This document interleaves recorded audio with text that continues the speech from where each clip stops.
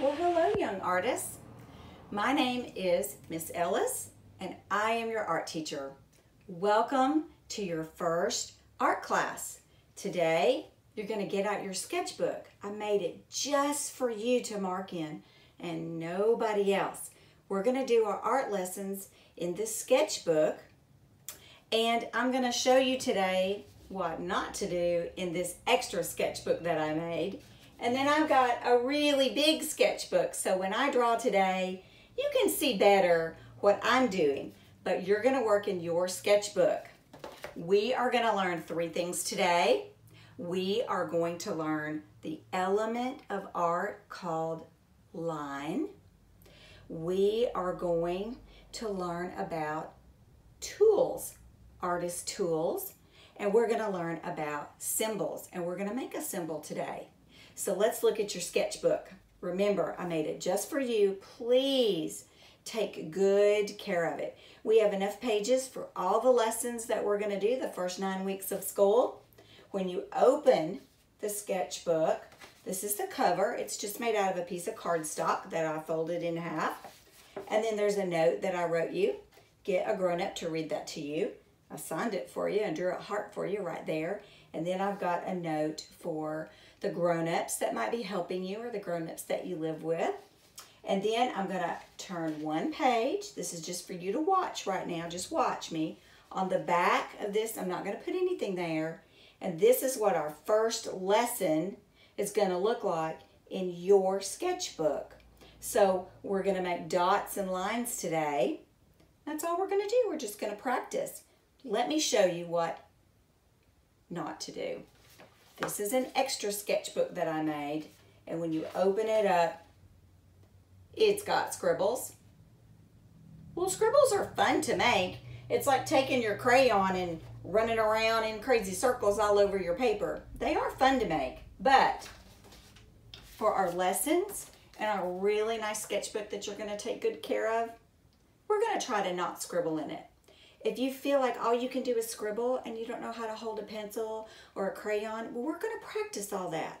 So let's get started. In your sketchbook, I want you to just turn one page, lay your sketchbook down on a table, or you could draw in the floor. You just don't want your mark to come off and get on the floor or the rug or the table. You want to kind of be careful. And we're going to practice just holding one of these tools. Here are some of my tools. I've got crayons today. I've got uh, Sharpie. I'm not going to use the Sharpie, and I don't want you to use a Sharpie right now either. Let's leave those for later. I got a pencil, got a brand new pencil. It's not even sharpened yet.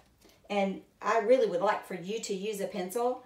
I'm not going to use a pencil because if I make marks on this big sketchbook with a pencil, you won't be able to see them very well. I've got a mechanical pencil. I'll show you how it works. See, I made a mark, but it's not very thick and it's not very dark. It might be kind of hard to see. And then I've got a pen. Today, I'm going to use a pen. I want you to use a pencil and you could use a crayon. I'm going to use some crayons too. So let's make the easiest mark in the world that there is to make. A famous artist said, a line is a dot that you take for a walk. I have a dog named Fiona. I take her for walks sometimes. So I'm going to take the lid off my pen. I always put the lid back on the pen if you have a pen like this, and that way I don't lose it. And I'm going to make the easiest mark in the world that there is to make. It's like this. Just to make a dot. So I'm to put the pen to the paper, and I'm to make a dot. Now, if you're not sure how to hold it, well, let me show you. This is kind of silly, but I just pretend I'm to pinch something, like if you pinch your, pinch your nose. Sounds funny when I talk like that. So I'm to practice pinching. I've got three other fingers. I'm to curl them up like they're to take a little nap.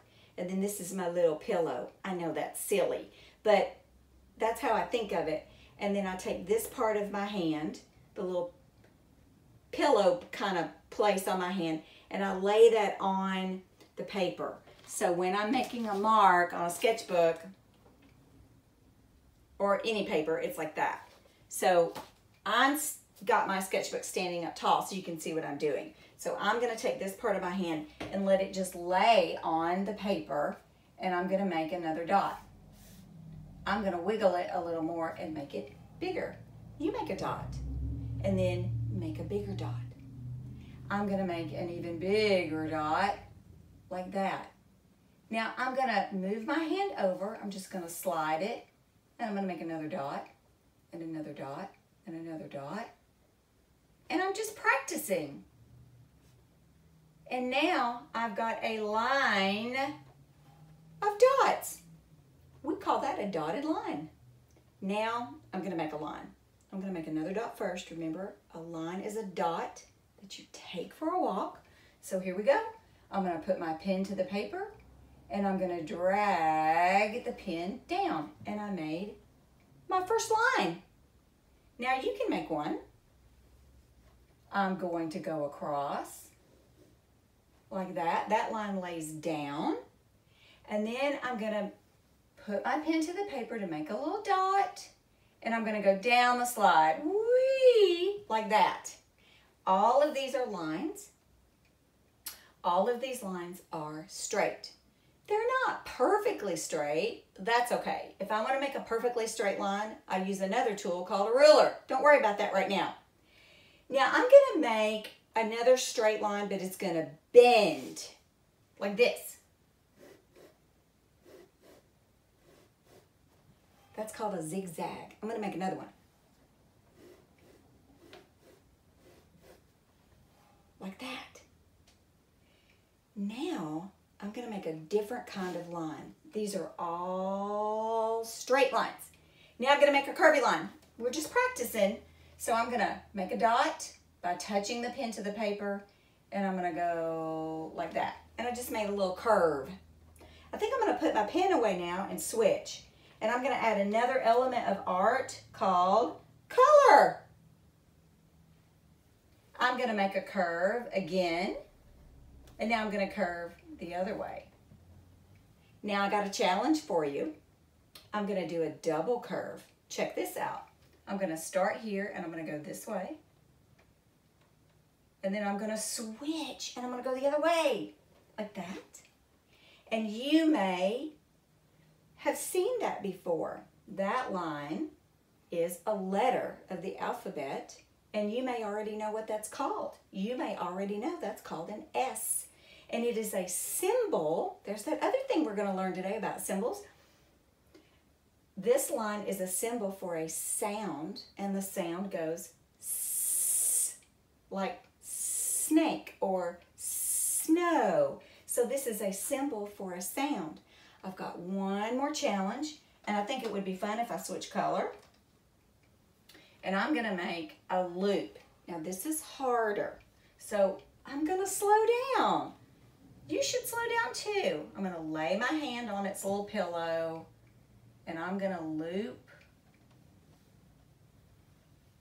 like that. And now this is really hard. I'm gonna go the other way like that. I didn't do a scribble.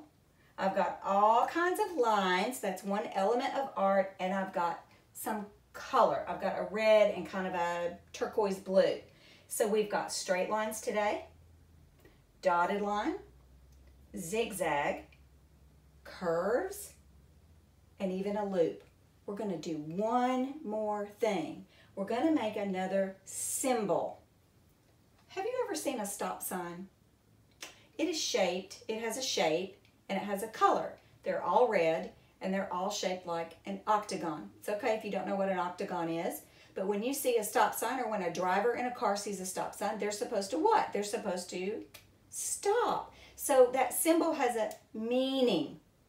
So we are going to make a symbol on our page and it's right down here at the bottom. Oh, I hope you can see that. I just made a line and a dot. And that means one. Number one, first page. Page one of your very important sketchbook. Now you already maybe have practiced. It's a line and a dot. So go to the bottom corner, right here. Go to the bottom corner of your sketchbook. I'm going to go right about here and I'm going to make a line. Here I go. Straight down and then make a little dot. You don't really have to make the dot right there. And now you've numbered your page, page one of your sketchbook. If you want to draw along with me, and I hope you do, then when you go to my haiku page, which is on your teacher's haiku page, you will see Google Meet. We will meet in a virtual classroom, like on the computer, every Monday and Thursday at 9 a.m. You just click on that button or click on that link and it will bring you to the art classroom and then we can practice all kinds of things together. I hope you'll join me Mondays and Thursdays at 9 a.m. I hope to see you there. Bye.